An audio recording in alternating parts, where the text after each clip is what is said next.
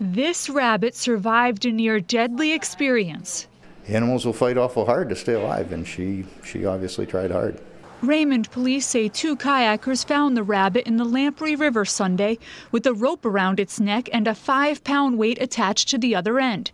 Candray Pet Care Center in Candia is now caring for the rabbit. She was pretty stressed and, um, you know, had clearly inhaled some of the, the river water. That was her biggest medical issue.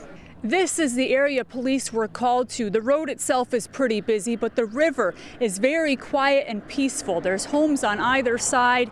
Dr. Cobb says timing was the difference between life and death for this rabbit. Rabbit is extremely lucky that somebody noticed and, and took the effort to help her out because she wasn't going to make it otherwise. Police say they learned a juvenile may be involved after family members came forward, and now animal cruelty charges are pending sick.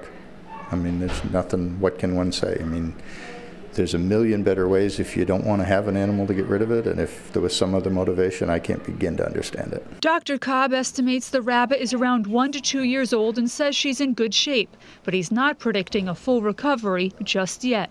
We have to watch her pretty closely for a couple more days. I am concerned about pneumonia. That's that's hard to beat in a rabbit because they don't handle antibiotics well. So I can't comfortably say that absolutely she's going to be okay, but I think that the odds are she will be. In Raymond, Jessica Moran, WMUR News 9.